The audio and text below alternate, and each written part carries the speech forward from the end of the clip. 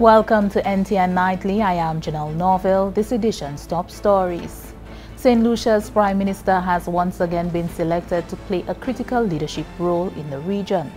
Government's roadmap to recovery from COVID-19 is dissected and the Department of Education warns against fake news. The 10th Special Emergency Meeting of the Conference of Heads of Government has concluded on how CARICOM will withstand COVID-19. Heads of Government of the Caribbean Community, CARICOM, met virtually on the 5th of May 2020, specifically to continue their efforts to harmonize their responses to and policies on the multifaceted impact of COVID-19. Heads of government welcomed the presentation from a regional working group, which indicated that the pandemic was largely contained in the region due to the decisive action by governments to put restrictions in place. They also noted the emphasis by the group that reopening by the member states must be done with the health consideration being the forefront criterion. The recommendations also included suggested criteria for a protocol on the reopening of airports for intra-regional travel. In that regard, heads of government established a subcommittee led by the Honorable Allen Chastanet, Prime Minister of St. Lucia, to have discussions with stakeholders in the tourism industry, including the hoteliers, airlines, cruise operators, and the labor unions to settle the appropriate protocols needed to ensure safety for workers and visitors upon reopening of the sector. This would be informed by a regional public health policy. Heads of government stress their determination to speak to the cruise and airline industries with one voice. The government of St. Lucia has expressed its commitment to continuing capital projects in order to prevent a total collapse of the local economy. This is exceedingly important given that investments and prospective investments in St. Lucia have been hard hit. The issue was examined Sunday evening during a live panel discussion on the National Television Network. More from Anicia Antoine. The COVID-19 pandemic is expected to have a lasting effect on investment and the economy. The COVID-19 Roadmap to Recovery, the Role of Investment panel discussion focused on the review of the economic impact of the pandemic on St. Lucia whilst charting the road to recovery. The panel of experts weighed in on the state of the economy, the medium-term development strategy, the support for local investments, and St. Lucia's capital expenditure and investments projects. Tommy Descartes, Chief Economist at the Department of Economic Development, spoke on the key areas currently being focused on in the medium-term development strategy. We think that uh, some of what we tried to achieve it are structural, uh, uh, try to remedy structural issues in the economy that has been there since post-independence. And so essentially, pre or, or post-COVID, these are, this will remain. And so the government needs to still continue uh, um, these initiatives. However, we see the MTDS um, now being positioned as sort of coming and give a stimulus during this time. So, so it's really about the issue of timing.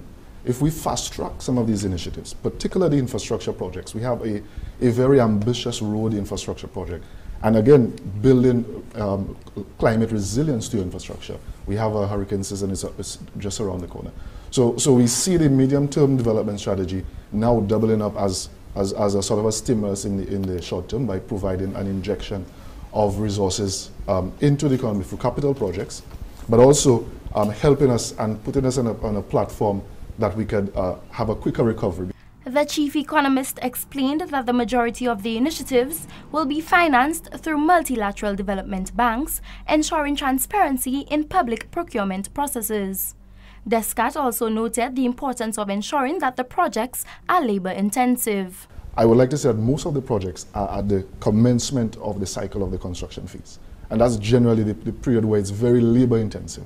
And so we see that um, you won't just have um, uh, projects happening and it's just a few persons.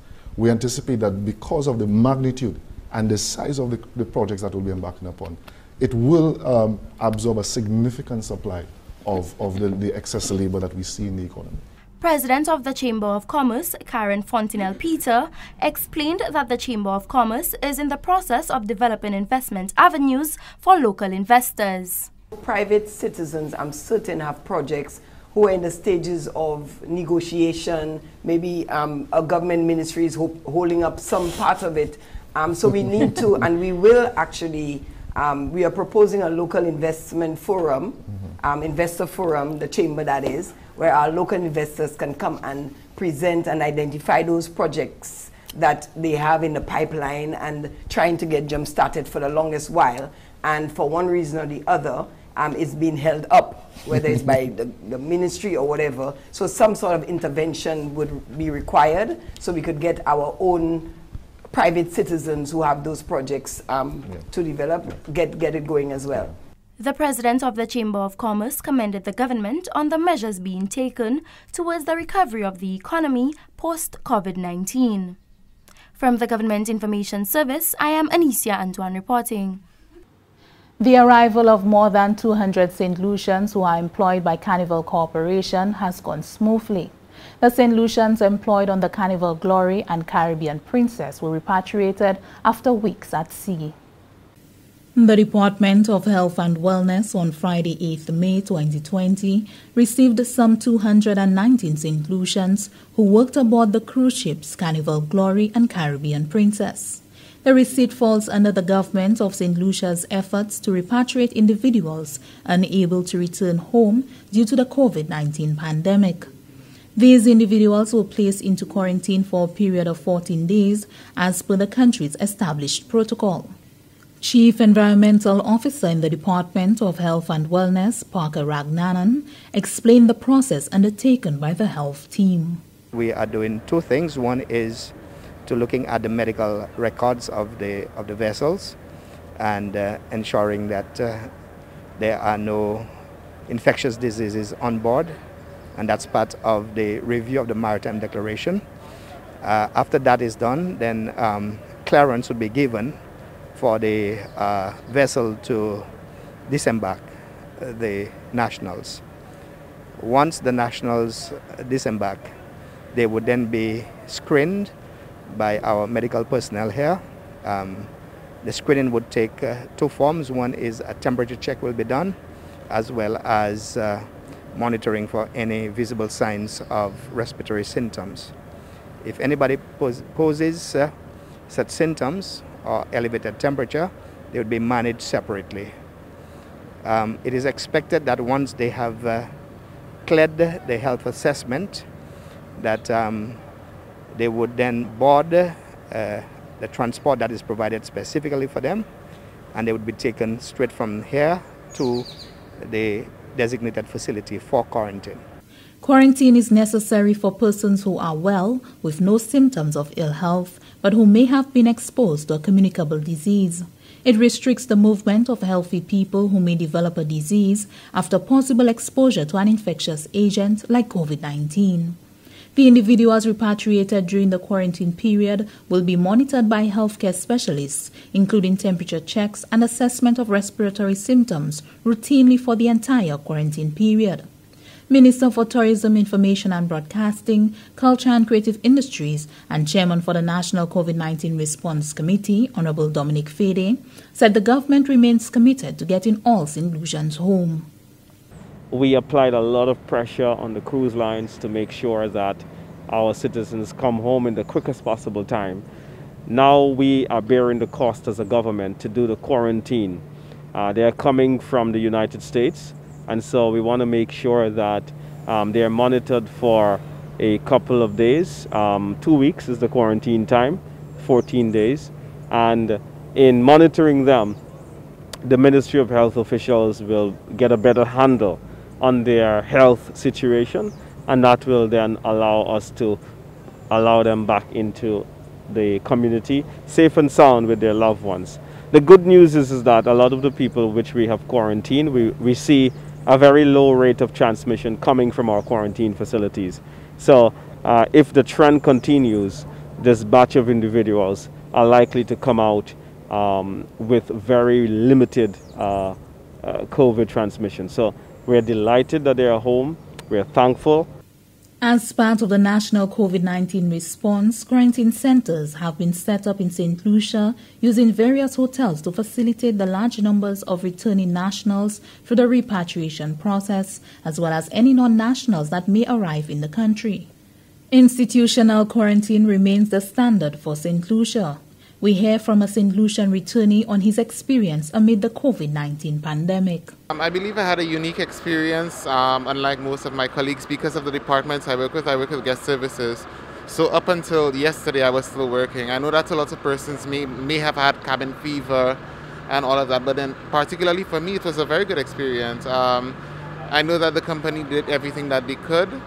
Uh, before we moved from our respective ships to the Carnival Glory, um, I mean, everybody was free to roam the ship as they uh, as they would have wanted to. We were provided with meals and everything. Um, the only downside is that when we moved from the other ships to Carnival Glory, uh, because of the the co-mingling, we had to move up in the level of um, security. So it moved up to um, drastic measures where you had you were quote unquote confined to a cabin, but you were still given the opportunity to go out get vitamin D, um, socialize, of course, with social distancing. Um, I mean, I'm just thankful to be here. The Department of External Affairs continues working with ambassadors to facilitate the safe return of nationals. This, however, is done ensuring that quarantine capacity is maintained. The government of St. Lucia reaffirmed its commitment to getting all St. Lucians stuck abroad due to the COVID 19 pandemic home at the soonest. Meantime, government is working assiduously at providing the best conditions for returning nationals who must be quarantined. Chief Medical Officer Dr. Sharon Belmar George says given the large numbers, additional facilities are being organized. Over the next few weeks, we will continue to receive other St. Lucian cruise workers and eventually our returning nationals. Quarantine centers have been set up in St. Lucia using various hotels to facilitate the large numbers of returning nationals and any non-nationals that may arrive of concern. Institutional quarantine remains the standard for St. Lucia. However, in certain cases, based on assessments, home quarantine has been facilitated. The Ministry of Health and Wellness, we once again ask the public to work with us to reduce the impact of COVID-19 our returning nationals are asked to abide by the quarantine protocols. We ask their relatives and loved ones to support them throughout the process. Further, if anyone is aware of any individual who has entered St. Lucia through unofficial routes to alert the authorities. All these measures are in place to keep all of us safe. The ministry is also continuing aggressive testing for COVID-19 in the community. As of May 8, 2020, St. Lucia has recorded a total of 18 confirmed cases of COVID-19. 17 of them are fully recovered and have reintegrated into their communities, and one active case is currently in hospital care and recovering well. On Friday, May 8, 2020, results for 45 samples were received and they were all negative. This brings a total of 620 tests conducted to date. Chief Medical Officer Dr. Sharon Belmar George. The Department of Education, Innovation and Gender Relations has informed that information being circulated on social media requesting that students of Forms 2 and 4 report to the department for e-book devices did not originate from the Department of Education, Innovation and Gender Relations and is incorrect. The department's process is that students report their needs to their respective schools, which in turn will forward to the department for processing. This process has been working well thus far and allows for students in all educational districts to be reached. All information from the Department of Education will be posted on the department's and government's official websites. This is NTN Nightly. Up next, Primus Hutchinson with the NTN Nouvelle, a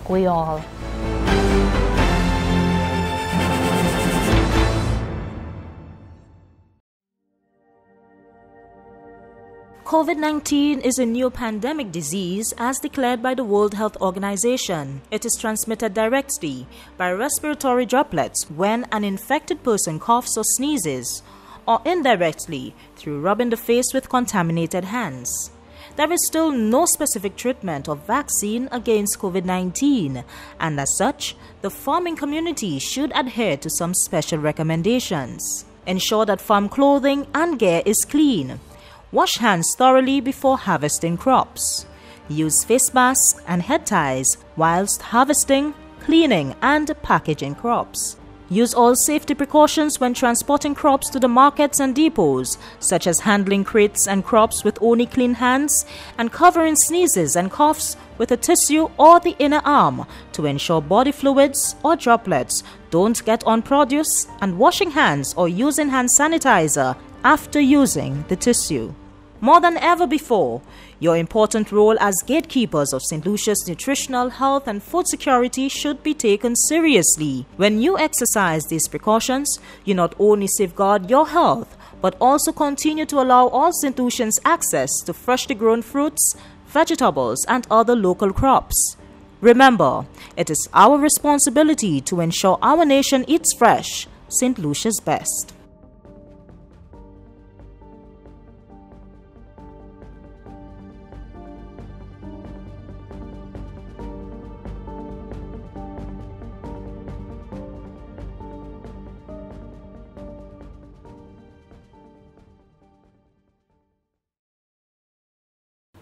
Welcome back.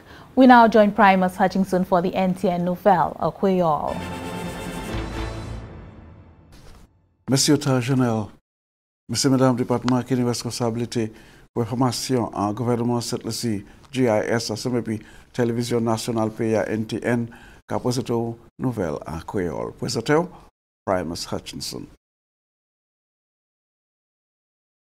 Département Police Traffic j'ai trouvé bonne assistance pour faire yo plus confortable.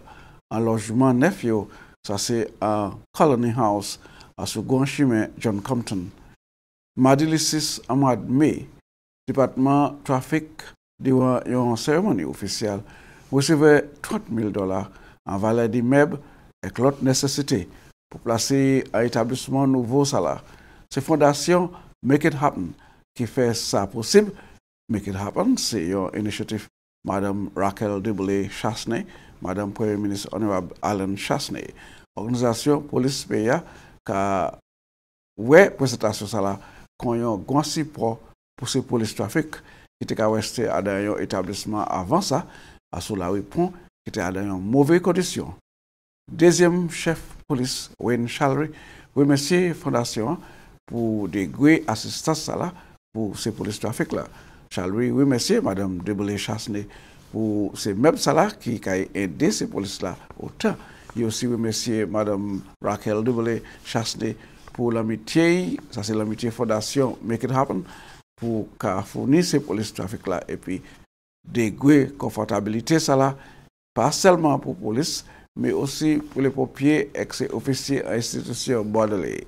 Madame Chasney déclaré que c'était plaisir Make It Happen pour supporter et assister ces police trafic là. Madame Premier ministre là a ajouté que c'était des fondations pour déplacer ces polices là à d'ailleurs l'environnement qui est plus confortable comme ça critique pour yo ça opérer plus effectivement et apprécier valeur.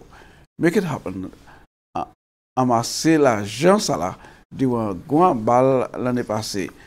Depuis commencement fondation en l'année 2016 M. Affaire et chef organisation, Mme Raquel Dubélé Chasney, qui a organisé plusieurs initiatives pour éprouver l'organisation des polices, des pompiers, institutions, prisons, bordelais, facilités sport, bibliothèque et l'école première à pays cette ci En quantité de 1,697 millions de dollars qui pour l'année ici et l'année prochaine, c'est dépenses qui ont représenté 80,2 en toutes dépenses à corporation, 4,5% en budget qui était approuvé pour l'année 2019 pour 2020. C'est le Premier ministre honorable Alain Chasney qui fait déclaration ça là durant la présentation budget l'année ici pour l'année prochaine. Sinon, Premier ministre Chasney, agodisman de pos sa la ka moutwe yon augmentation epi an pil signifikas pou prepare osman sa la ek lot depans a fason sa la. Premier Ministre Chasne di osi an yon alokasyon de 565.443 milyon pou peyi sa la ek an som de 461 milyon dola ja program pou kouve asistans finans pou le travaye. Yon lot yon 103.85 milyon pou benefis yo ki kaye atwe awe twet apami sa se 12.4 milyon awe pons pou kontribisyon yo ki ka peye NIC. Premier Ministre la di ki padan sa ki propose ka prezerve salè pou les ofisye publik an uh, de gwe de negosyasyon, situasyon ki ka menase peya ka forse gouvernement pou examine legislasyon ki ka gouverne sa lè de sekte publik e ki mè fason pou fè servis li pou asiwe stabilite an ba mouvè trakasman ki douvan peyi set lesi presentman. Ministre pou Affaires et Développement Économique Honorable Guy Joseph di ki itwe ple epi fason le wivandez kastwi koopre padan gouvernement ti kaba, ti fasilite nef bayo. Monsye Joseph ki pale diwan seremoni pou te ouve fasilite nef pou le Wivadez an la plas kastri de dimanche ki pase, deklare ki y apresye otan de gwe kompasyon se Wivadez la pou toutan sa la ki yote adan yon plas ka opwe padan yote ka aspe pou fasilite nef la ouve.